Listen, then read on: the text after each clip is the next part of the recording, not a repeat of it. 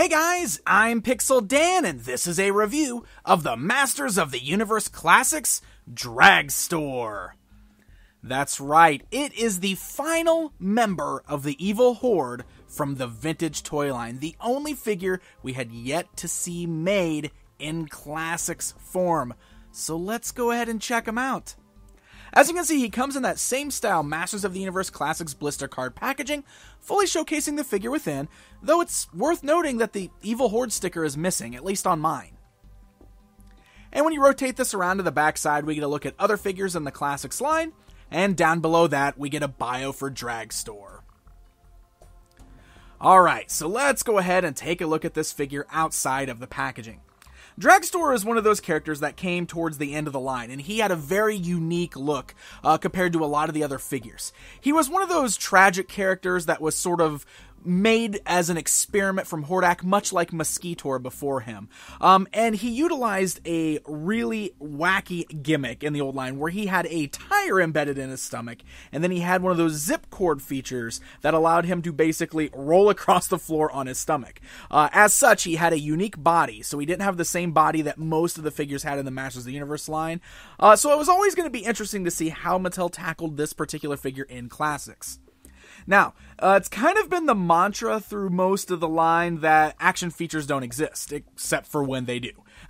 we've already seen instances in these videos where we've seen the laser figures get light up features, and we've seen some of the other characters who probably needed to have action features get them. But at the same token, we've had some that should have had action features that were skipped over like Mosquitor. And unfortunately, the same thing has happened here with Dragstor. So let's go ahead and take a look at the sculpt here, and we'll talk about all that as we get to it. Now, as far as the overall look goes, I think the Four Horsemen did a great job of taking the look of that classic Dragstor action figure and translating it into classics form. Uh, all of the craziness and the details that were seen in that classic figure have been brought to life very nicely in this new figure. Now, it does utilize that standard male buck, um, but he's got a new armor piece that is laid over that to kind of make it look like the mechanics and everything that we saw on that vintage figure. And I think that's pretty clever for the most part. So the armor piece seems like it works just like with all the other classics figures that have had similar armor. You can see that we can detach it right there. And it's just sitting over the regular body. Um, and I will say that I do like the way that it's cut out a little bit, so it's not too bulky looking. It's actually quite slim. Um, the only places it might be a little bulky are the straps coming around, but it's okay. It seems to work fine with the design.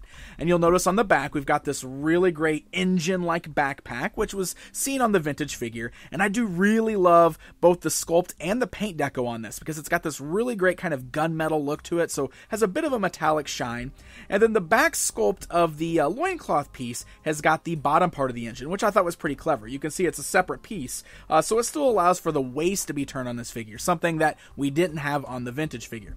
Now, part of that is because the wheel is not a real wheel on this figure. Uh, it is part of the sculpt on there with this armor piece. You can see how we can kind of lift that up and you can't see the wheel underneath. Now, I will say that the wheel is sculpted very nicely. They've even added some details like the treads. There were no treads on the vintage one.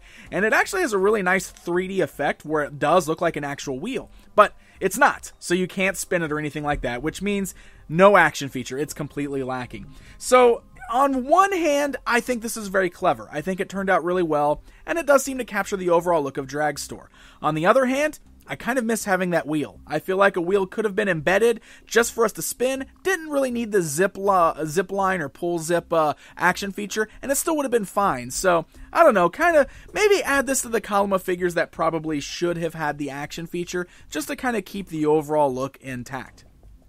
I'll also note that they still added the little port on the side of the tire there where you would put in the little zip pull from the vintage figures. So kind of fun. We've seen that done a few times in this line. Uh, he's got the great little uh, silver kind of wires there sticking out. Uh, the paint on that is real shiny kind of silver. I will say it's a little sloppy. You can see it's not clean in some areas. Um, but for the most part, I do like the colors there. We got that evil horde emblem right there. And then we've got the head sculpt, which is very, very cool and very unique on this guy. Uh, he's got like this helmet on basically with the little kind of uh, gas mask type thing going on there. Uh, I love the details on the face. I think that's a little more detailed than we saw in the vintage figure. He has a bit of a reptilian look look to him, which is very interesting. I really like that. Has this great gray face with these bright orange snake-like eyes sticking out. Uh, almost looks like he could possibly be a Snake Man type character or some other type of reptile. So pretty interesting all around. So I do really like the design of the guy. I think he turned out really well. Uh, they've done a great job of capturing what was a very wacky look in the vintage figure and updating it fairly decently for classics. So let's go and talk articulation on this guy. It's very basic since he's just a standard buck that heads on a ball joint. So you can move left, right, roll it around, and move it slightly up and down. You got the ball joints at the shoulders, so the arms can go outwards, forwards, and backwards. You can also swivel at the bicep, standard joint at the elbow, and your swivels at the wrist. Uh, the ab crunch is a little hindered because of this piece on the armor here, but you can still swivel the waist side to side. We do have those ball like joints at the thigh, so legs can go outwards, forwards, backwards, swivels at the thigh, standard joints at the knee. Uh, we have swivels at the boot cut there. I love these boots, by the way. Uh, no ankle pins showing. And we do have these standard joints at the ankles. Uh, a little loose on mine, but not bad. Not to where he's falling over or anything like that. So that's pretty good.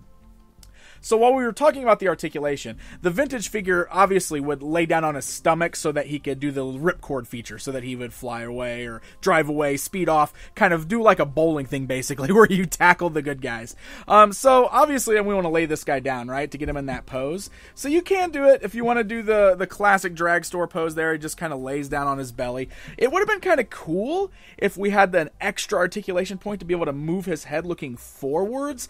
Not something I was really expecting because we haven't really had joints like that in this line. But if they went a little extra step and added that to this guy so we can pose him like this and have it where he's looking forward, that would have been pretty cool. Alright, so let's go ahead and talk accessories. Dragstor comes with two of them. Uh, the first one I'm showing you guys here is actually a very unique accessory. It, we all know by now that the members of the Evil Horde all have crossbows, except for Mosquitor for some reason. Um, but one of the things that's really cool is the figures that didn't get crossbows in the vintage line. The Horsemen have been coming up with these really cool, unique designs and giving them Horde crossbows. So Dragstor's got this brand new crossbow that has this really neat engine look to it. And you can see it's the same silver color as the engine on his back just has a handle on there. You can hold it. He can hold onto it in either one of his hands, and it's just a really cool looking weapon. I thought that was a really fun pack in with this guy. His second accessory is a bit of a fun nod to the vintage figure. I keep talking about like the the rip cord that was used, uh, very similar to what we saw with Blast-Attak, where his plunger was turned into a whip. The same thing has been done with Dragstor's rip cord. So you can see the way it's sculpted here to kind of look like the rip cord that plugged into the figure. Uh, but the, again, it's been turned into another whip-like weapon with sort of a blade on the end of it. Now, unlike uh, Blast-Attak's, which was very rubbery and soft, this one is hard plastic and it's molded it in place. Uh, he can hold it in either one of his hands. He does seem to get a better grip on it with the right hand, uh, but because the way it's molded, there's limited ways you can actually pose it. But still, kind of a fun little pack in. It's a neat way to give Dragstor a couple accessories that he didn't really have in the past. All right, guys, it's comparison time. Here's a look at the brand new Dragstor action figure standing alongside his vintage counterpart, where you can really see how they stuck pretty true to the overall design of the guy.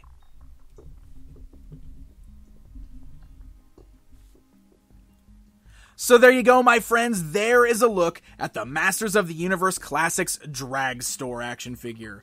Overall, I do think he's a very nice looking figure. I love the accessories. I think they're a lot of fun, especially that Horde crossbow. And overall, I think he's a very fun looking character. Now, yes, I kind of wish he had the wheel in there, but maybe that's just my personal preference. Uh, maybe you're totally fine with the way this works. And I will say that the overall sculpt of the armor is still very clever and he looks pretty good. The other cool thing about Dragstor, of course, is that he completes our Evil Horde lineup, at least the original uh, lineup from the old toy line. And it's pretty sweet seeing our huge Evil Horde now displayed on our shelves. So Dragstor was released in November, part of the Club Eternia subscription, and he's currently sold out on MattyCollector.com. So if you're after him, you're going to have to find other means, other online stores that might be carrying him. So happy hunting, my friends! And until next time. And hey guys, if you enjoyed this video, don't forget to hit the like button and subscribe so you never miss out on any of my videos. Take care, my friends.